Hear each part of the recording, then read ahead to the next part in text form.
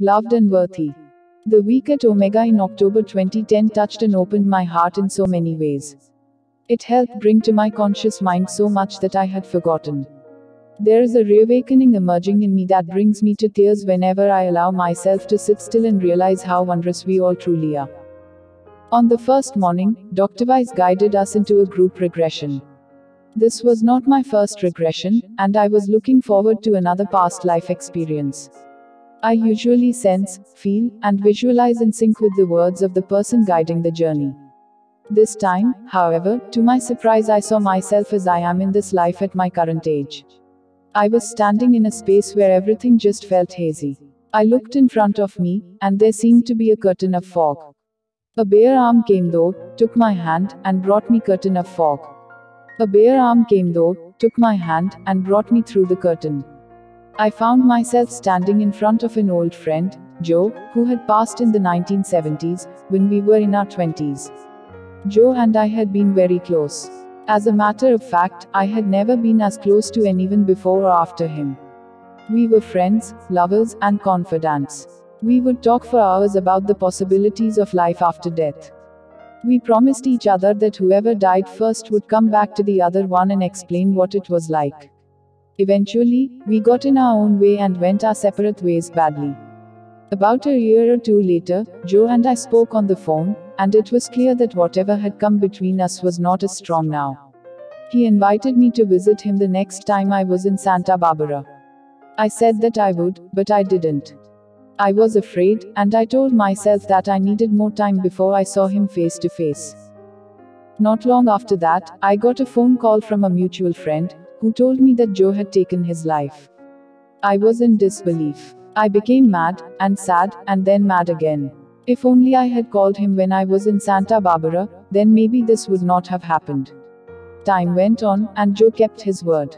I would get visits from him, mostly at night in vivid dreams. There were also the times, after I had spoken to someone about how angry I was that he took his life, when I would be woken up with my bed shaking, and I could hear his voice telling me not to be mad at him.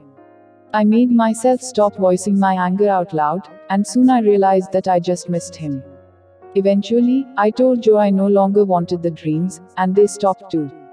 After that, from time to time, I felt Joe's energy around me, just knowing that he was there was so reassuring. Then one day, in the 1990s, I was in my kitchen and I could feel Joe's energy surround me. It was around me and in me.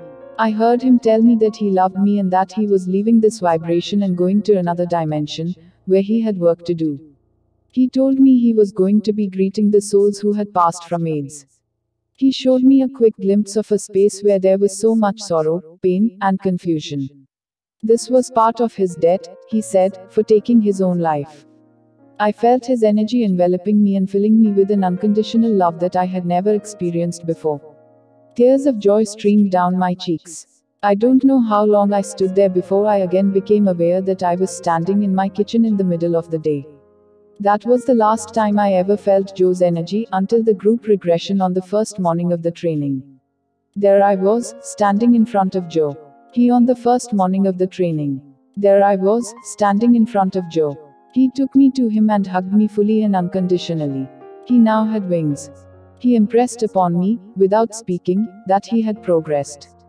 I could feel him wrap his wings around me. It felt like there were other energies around us, also surrounding me in love. I heard the words, You are loved. You are worthy. My jaws hurt, my throat was tight, my arms ached, and tears rushed into my eyes.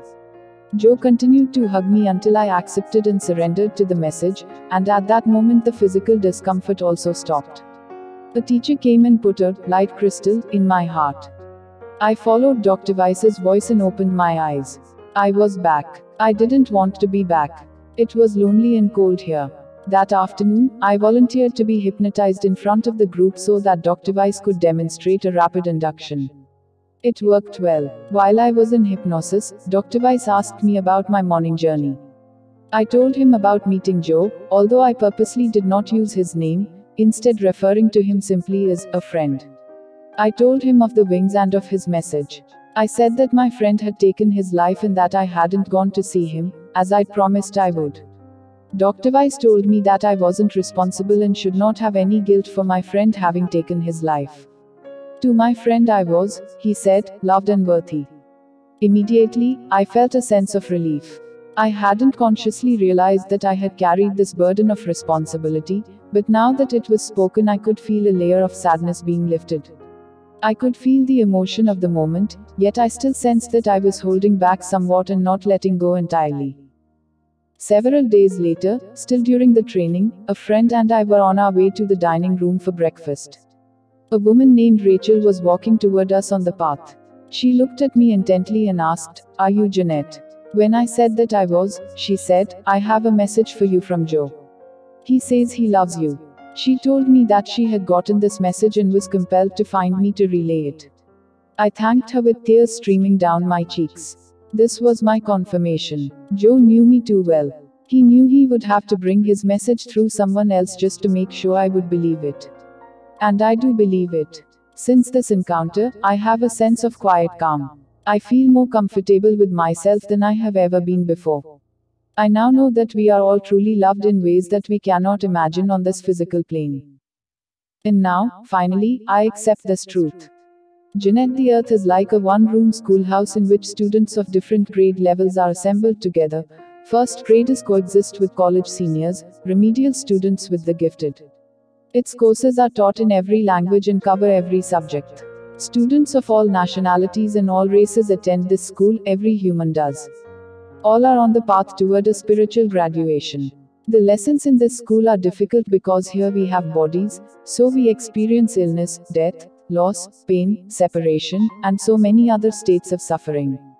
Yet the earth also has such powerful redeeming virtues, like incredible beauty, physical love, unconditional love, soulmates, pleasure for all our senses, kind and compassionate people, and the opportunity for accelerated spiritual growth. Eventually, over the course of many lifetimes, we will learn all these lessons. Our education will be complete, and we will not need to reincarnate anymore. Jeanette provides a glimpse into how our education continues on the other side, even after our consciousness has left the physical body. The earth is a school, a difficult and popular one, but not the only one. In those higher realms, we do not learn through bodily sensations or emotions or relationships or illness. There, our studies are more abstract and conceptual. We discover the advanced dimensions that exist beyond our human awareness, and we begin to unlock their many mysteries. There, we see and feel the sublime manifestations of what on earth appears to be solid and material, and we acquire an understanding of these absolute energies at their most elevated vibration. There, we explore the nuances and levels of loving kindness, compared to earth and its physical forms, it is learning at a higher octave. Even though these lessons are the graduate level courses, they are still part of our soul's curriculum. Our knowledge is always expanding. Joe tells Jeanette that he has incurred a debt for taking his own life. He probably had left a healthy body when he committed suicide. His consciousness, of course, was not hurt or damaged, but without a body it cannot do its work on the earth plane. The body is essential for the soul's manifestation in a physical dimension. Joe's soul must wait for its next incarnation to continue its spiritual journey on the earth. But it is not punished with eternal damnation or obliteration. Karma is for learning, not for punishment. And so Joe is assigned to work with the spirits of people who have died from AIDS. Here are people who have suffered greatly, dying too young because their bodies have become irreparably damaged from a horrible disease. What better way for Joe to learn the value of a healthy body, of the gift of life? While working with the souls of the victims of AIDS, Joe was not in pain or distress. He was filled with unconditional love. He was, in a sense, earning his wings, like an angelic being. He was erasing his karmic debts. If Joe, with all his debts and flaws, could make the transition from human to angel, then we all can. For truly we are all angels temporarily hiding as humans. In her story, Jeanette mentions her encounter with Rachel, who had a special message to give her. Below, Rachel tells how she received that message. Soulmate This is a part of Zindagi Ki Roshni consultancy. It has been established for those who have lost someone and for those who are very sad in their life. About 100 PDF books and 20 short audio books of this topic will be sent to those who join it. This data will be sent to their email or WhatsApp. If you want to join this organization then please send WhatsApp message to this number.